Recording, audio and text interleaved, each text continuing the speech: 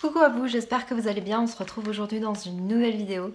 Alors ça va être une battle entre la Silly Sponge et mon Body Blender. J'espère que cette vidéo vous plaira.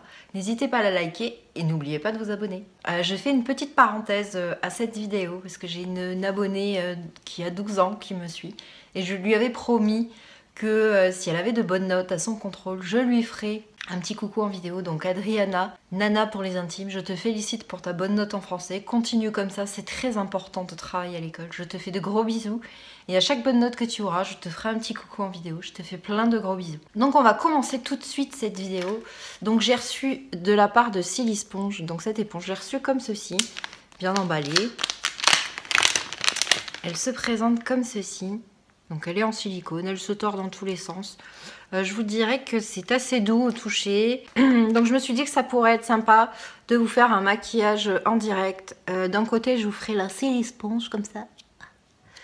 Et de l'autre côté, le Beauty Blender. Donc je vous dirais que ça ressemble un petit peu à ce qu'on, vous savez, ce qu'il y a dans les push-ups. Pour avoir l'impression d'avoir des gros nibards. Et de l'autre côté, avec mon Beauty Blender. Donc bien entendu, je n'ai que ma crème de jour.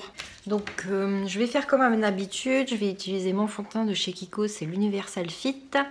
Et c'est la teinte Vram Beige 15. Donc on va commencer avec mon petit Beauty Blender. Je vais faire comme d'habitude, je vais en mettre sur ma main ma dose normale. Euh, je vais vous rapprocher que vous voyez bien. Vous m'aurez jamais vu d'aussi près. Donc c'est parti.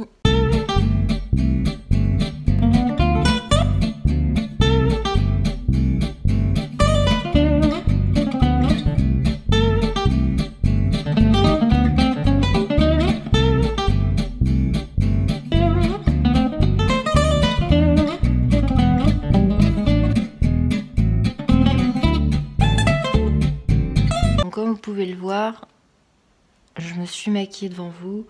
On voit pas du tout que j'ai mis du fond de teint. Donc on va faire la même chose de ce côté-ci avec euh, la Silly Sponge. Donc je mets la même dose de fond de teint que j'avais mis pour mon petit blender. Donc je vous dirais que je l'ai reçu début de semaine. J'ai eu le temps de tester s'il fallait étirer, tapoter. Je vous dirais qu'il faut étirer la matière. Donc je vous dirais qu'au début c'est très très bizarre au niveau de l'application. Parce qu'on a l'impression d'étaler du plâtre.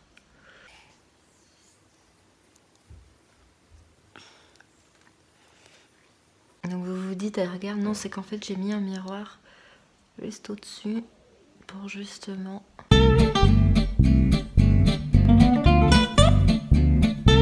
Donc je vous dirais qu'ils disent que c'est pratique pour... Euh, alors ils disent que c'est fait pour mettre le fond de teint et l'anticerne. Je vous dirais qu'à peu près plusieurs jours d'application au niveau de l'anticerne, ça reste très compliqué. Parce que autant le body blender, vous voyez, on peut le...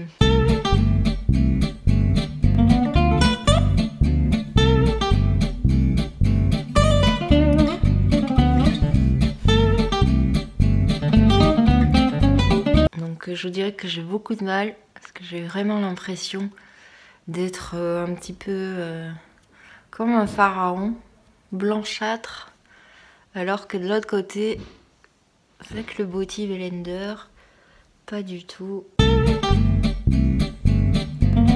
Donc je sais pas si vous voyez la différence, mais moi je sens vraiment sur ma peau que de ce côté-ci j'ai quelque chose. c'est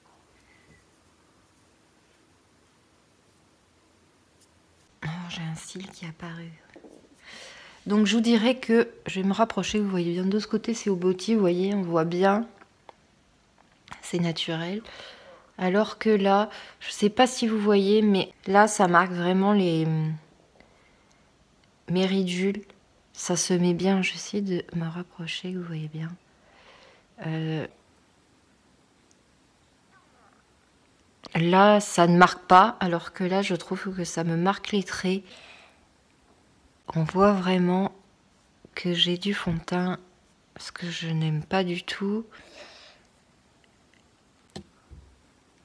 Et en fait, euh, comment vous expliquer Regardez, vous voyez, si je passe ma main, j'arrive à enlever du fond de teint qui est sur ma peau, alors que là, pas du tout. Donc je dirais qu'au niveau de l'application, euh, l'application est assez bizarre. Euh, on va dire que ça couvre euh, l'application du, fond de teint avec la sponge. on a vraiment, enfin, on voit vraiment qu'on a mis du fond de teint. je me trouve beaucoup plus blanche de ce côté-ci que de ce côté-là. De ce côté-là, je trouve que ça fait un effet naturel, là, pas du tout.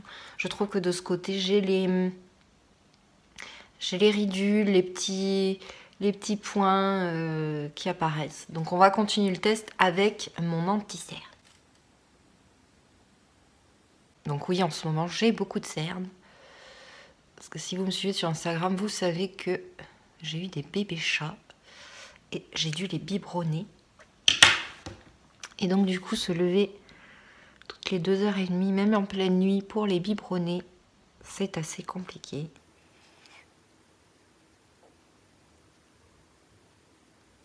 Donc au niveau de la tisserne, j'arrive avec mon Beauty Blender avec la pointe, vous voyez, à faire bien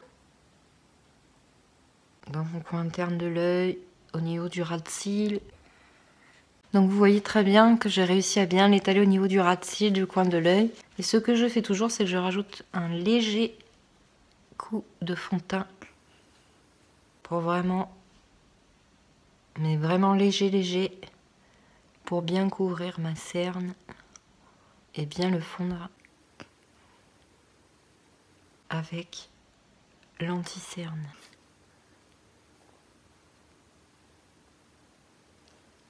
Donc voilà pour le côté Body Blender. Passons au côté Sponge. Donc je vais mettre la même dose. Parce que oui, j'ai un petit peu des cernes de panda. Parti. Donc je vous dirais que premier inconvénient, c'est qu'on ne peut pas bien la tordre. Je vais vous montrer. Parce qu'elle est arrondie, mais on ne peut pas bien la tordre. Vous voyez, c'est pas très très précis. C'est comme ceci, c'est pas précis du tout, je trouve.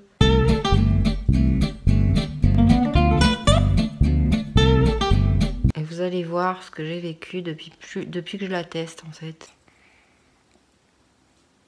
c'est qu'il faut vraiment bien travailler la matière pour avoir, pour essayer d'avoir un côté naturel à l'anticerne.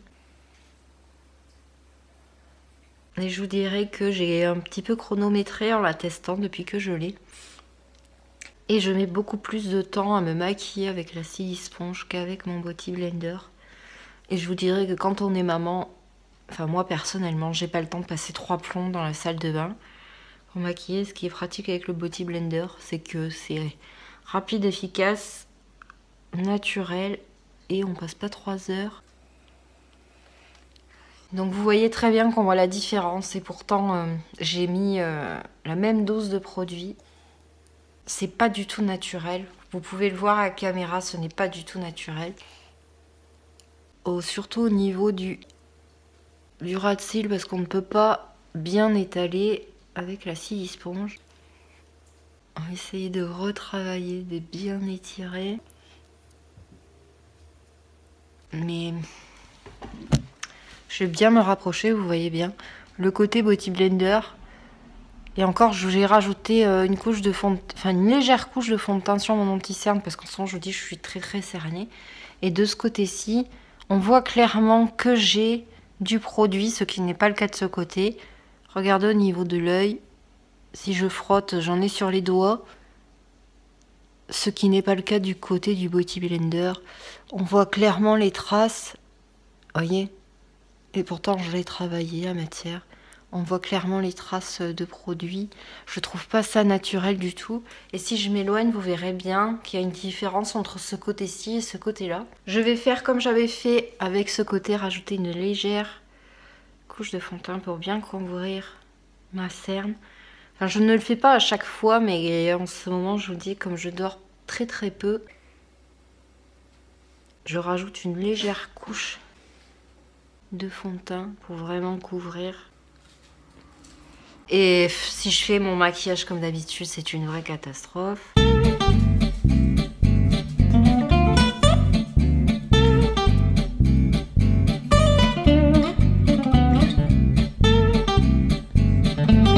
C'est de bien étaler. être assez compliqué.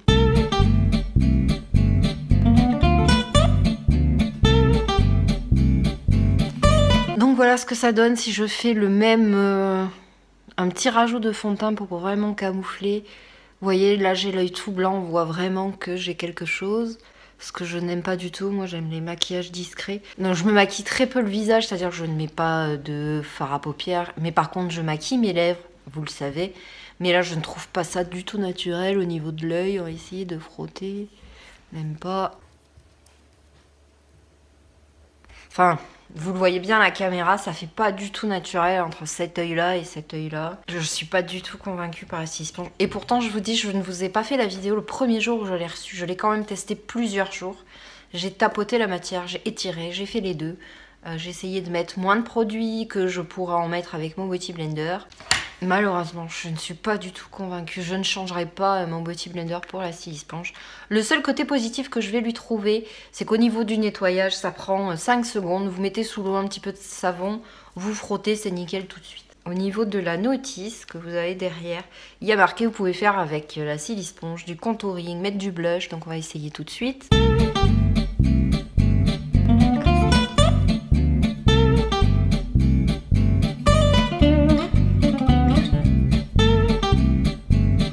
Du côté du Beauty Blender, je vais faire ce que je fais d'habitude avec mon pinceau licorne dont je vous avais parlé dans une autre vidéo. Je vous remettrai le lien des pinceaux si vous voulez en barre d'infos. Donc je fonds la matière.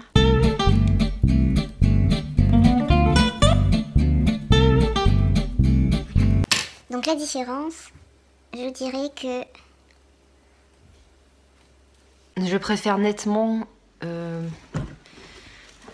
au niveau du maquillage, hop, je vais cacher le cheveu, j'avais mis un serre-tête exprès. ça part toujours en sucette. Hop, on les petits cheveux. Je préfère nettement ce côté-là, maquillé au Beauty Blender. Et avec mes accessoires euh, normaux, mon pinceau, mon Beauty Blender, que ce côté-ci que je ne trouve pas... Euh, je ne trouve pas ça naturel du tout. Je vais approcher, vous voyez bien. Regardez au niveau des yeux.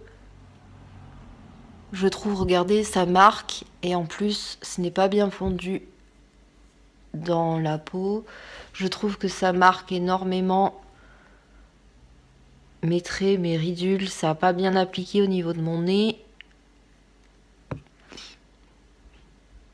Je trouve que ça marque énormément.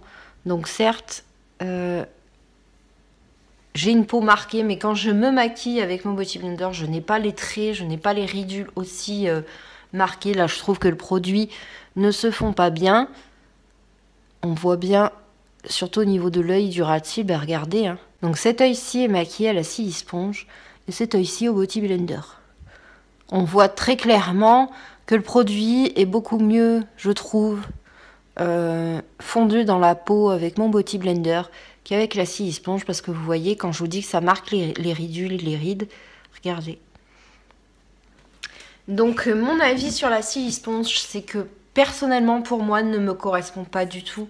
Euh, elle, est, euh, elle est sympa au niveau du toucher, je vous dirais que c'est très doux, euh, ça se dans tous les sens. au niveau du lavage, c'est très pratique, vous mettez un petit peu de savon, vous frottez, vous voyez, elle se dans tous les sens. Mais au niveau de l'application, je ne suis pas convaincue du tout. Je trouve que je perds plus de temps avec la sponge qu'avec mon Beauty Blender. Après, je vous dirais peut-être que c'est par rapport à la peau. Certes, j'ai une peau de 40 ans, mais je avec des, rides et des ridules qui se forment et qui sont présents. Mais euh, je vous dirais que euh, en me maquillant le Body Blender, j'ai pas ce problème. Je suis pas du tout convaincue par le produit, donc Dites-moi ce que vous en pensez en commentaire. Laure, avec qui j'ai échangé par mail euh, pour la Silly Sponge, m'a donné un code promo. C'est le code Silly 2017 que je vous mets en barre d'infos qui vous donne droit à une réduction. Si vous voulez la tester, vous faire votre propre avis. Mais moi personnellement, je ne changerai pas mon Beauty Blender contre la scie sponge parce que je vous dis, je trouve qu'au niveau de l'anticerne, c'est mal conçu. Ça devrait être beaucoup plus... Je vais vous montrer. Vous voyez, le Beauty Blender, il est bien pointu. On arrive bien à... Vous voyez Alors que là, même si on veut, on peut pas. Ça reste très... On peut pas bien le tordre comme on veut. Je ne suis pas convaincue par ce produit. En tout cas, je remercie, euh, je remercie Laure euh, qui me l'a envoyé. Euh, parce que je, voulais vraiment tester, faire une comparaison entre les deux. Malheureusement, je suis désolée, je ne suis pas du tout convaincue par cette éponge. J'espère quand même que cette vidéo vous aura plu. N'hésitez pas à me dire en commentaire ce que vous en avez pensé et surtout ce que vous pensez de cette petite éponge en silicone. Je vous fais des bisous et je vous dis à bientôt.